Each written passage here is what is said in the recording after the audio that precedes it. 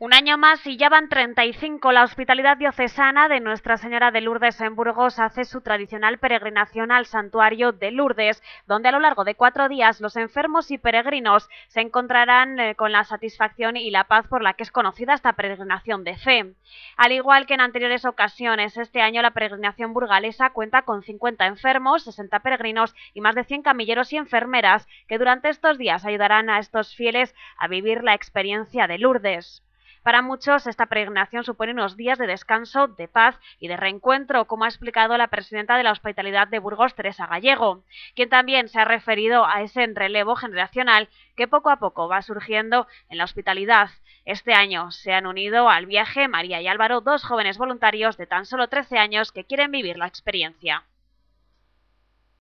Lo que está sucediendo en este momento, el cambio generacional es que quien antes venía de enfermera o de camillero, ahora vienen como enfermos, porque ya pues son mayores y prefieren disfrutar de la peregrinación en ese estatus, porque además su salud a veces ya no les permitiría ayudar. Entonces tiene que venir gente joven que tomen el relevo, que vienen encantados a tirar de carro, a ayudar con muchísimas ganas, sobre todo pues de, de vivir estos días entregados a los demás, a hacer una obra buena. Además, este año la peregrinación cuenta con un nuevo conciliario diocesano, José Luis Martínez, quien ha manifestado estar encantado de estrenar su cargo con una peregrinación tan especial. Es que realmente hace un bien muy grande esta, esta peregrinación a Lourdes a todos, ¿no? no solamente a los enfermos, que son el centro de la peregrinación, sino a los camilleros, a las enfermeras que les acompañan y también a otras personas que vienen en peregrinación con los enfermos.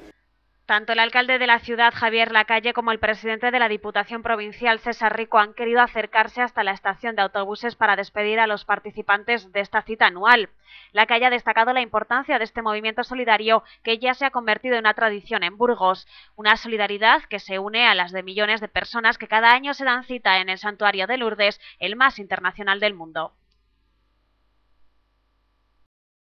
Eh, bueno, pues acompañarles en esta salida, desearles lo mejor durante el viaje y sobre todo agradecer a tantos voluntarios y especialmente voluntarias. Estamos hablando de unas 50 personas, la mayoría mujeres eh, burgalesas que de forma voluntaria pues van atendiendo a estos otros burgaleses que más lo necesitan durante el largo fin de semana hasta Lourdes para regresar el domingo, el domingo por la noche. Bueno, yo creo que hay que estar siempre con las personas que más lo necesitan, con independencia de, de creencias religiosas y eso es lo que hemos venido a hacer, cumpliendo pues con una tradición ya de, muchos años en esta salida, en esta despedida y, desearles pues un buen viaje y, una buena ida y sobre todo también pues un buen regreso.